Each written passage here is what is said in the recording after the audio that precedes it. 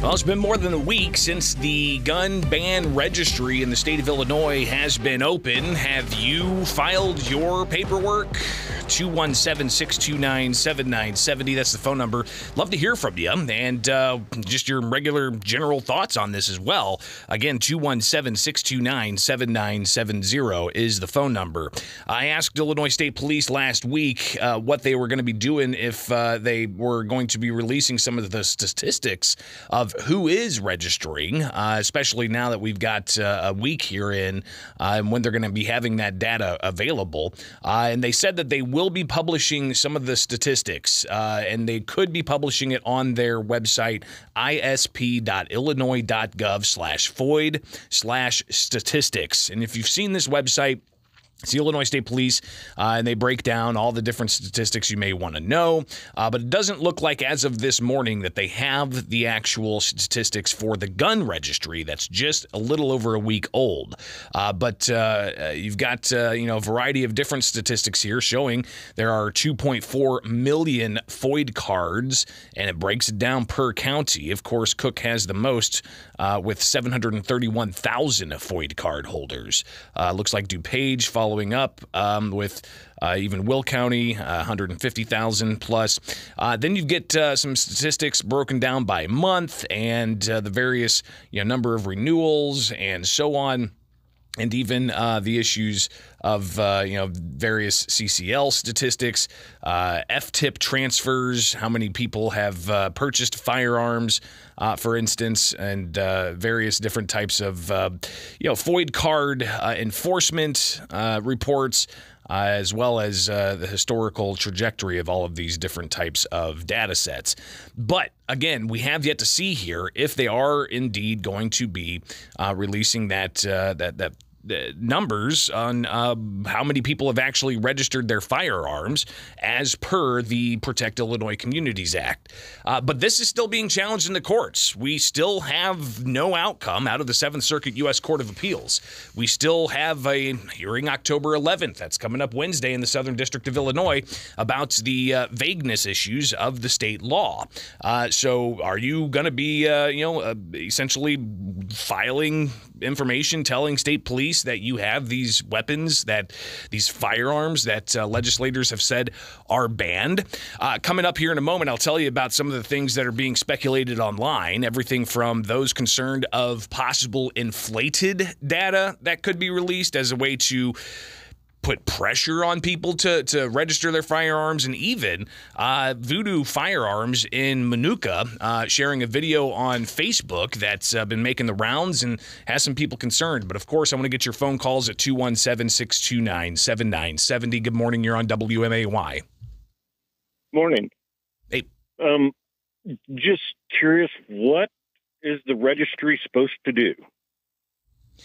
Yeah, so firearm uh, the governor's been asked this before, uh, and you know, particularly, why do you need these firearms to be registered? Uh, and the the Democrats who supported this push back and say nobody's coming after your guns.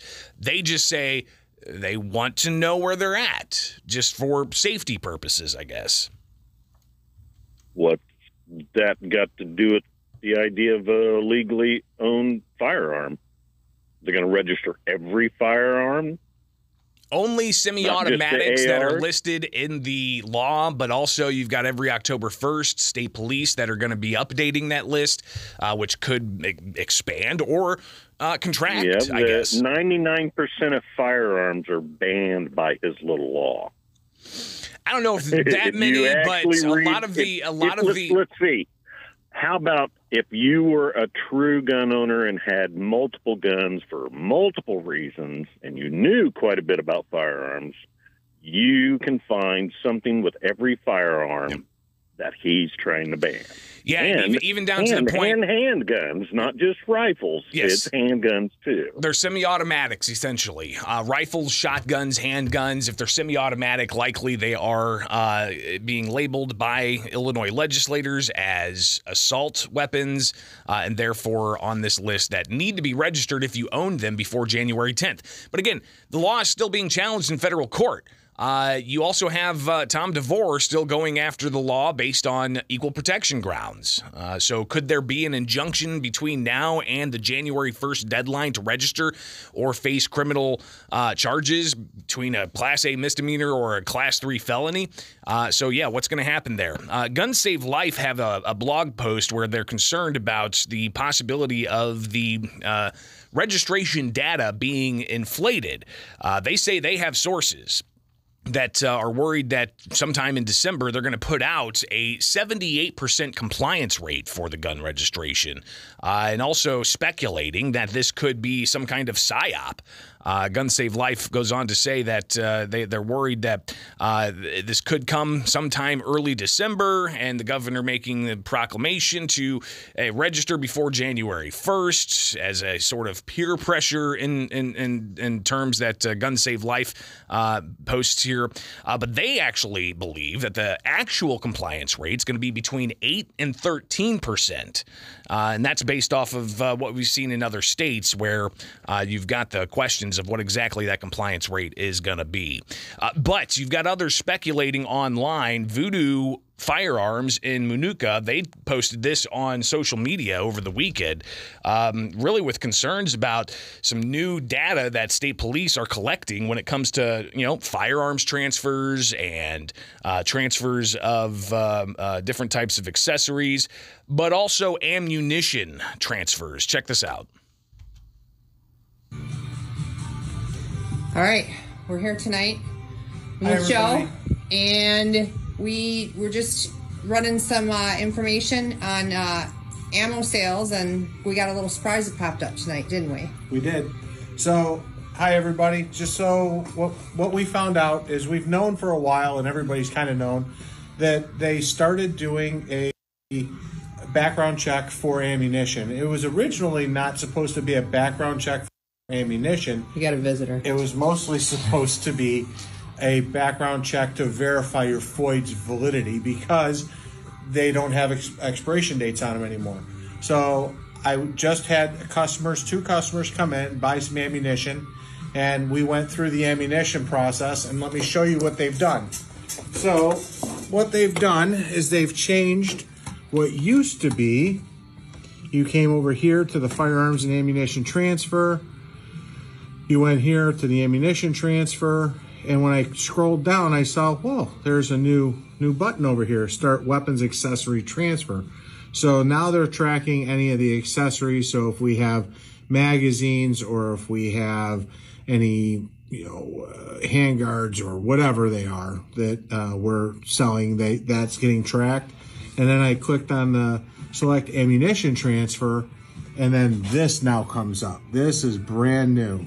So they're now tracking the caliber of the ammunition that you're buying. And why would they do that, Joe? The only reason I can think of that they would want to track the ammunition that you're buying is because if you're not going to register your firearm, but you buy 223, it's going to be pretty obvious that you're buying 223 for an AR, and they're going to want to know why you're buying ammunition for a gun you didn't register. So think wisely, my friends. Figure out how you're going to do it because they're coming. So obviously, right, there's uh, concerns there. Uh, Voodoo uh, Firearms in Minooka um, uh, sharing that video uh, late last week, and just some of the uh, speculation and concerns that there are. And we'll obviously be tracking this as we get closer to January 1st, but also as we watch what happens with the court cases. Because again, I think a lot of people are waiting to see what happens with the court cases and whether or not there's going to be an injunction put in place.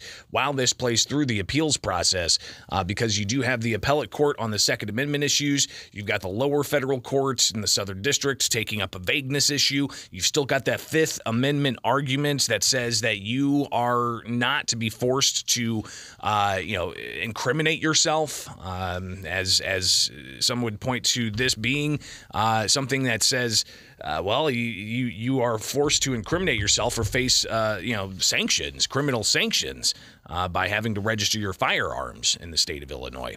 Uh, so I'll, all of this ebb and flow, and uh, we'll, we'll watch and see what happens, and also whether or not uh, they're they're going to be posting on the data website for Illinois State Police the, the the latest numbers, if they indeed put those numbers out, as to mm, adding to the FOID card Are they going to add to the number of semi automatic rifles that are being um, ultimately registered.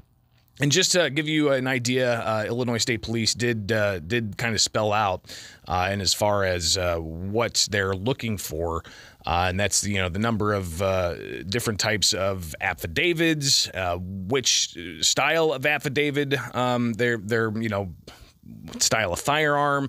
let me pull this up really quick so I can get you uh, precisely the types of data sets they're going to be looking for uh, and uh, spelled out by uh, a uh, state police uh, spokesperson. They're going to look at the, the disclosure for weapons, the number of disclosures, the disclosures for accessories, the disclosures for ammunition, and the number of individual filing disclosures. So that's the numbers that they're set to provide to the public as to what exactly they're going to be looking for on the state police website uh, Illinois State Police. Just search it, uh, isp.illinois.gov slash FOID slash statistics, and you'll be able to find that. All right, you'll be able to find me anywhere. Just search Bishop on air, and we can connect anytime, on air or off air. Just search X, formerly Twitter, YouTube, Facebook. Uh, just search Bishop on air, and we can connect that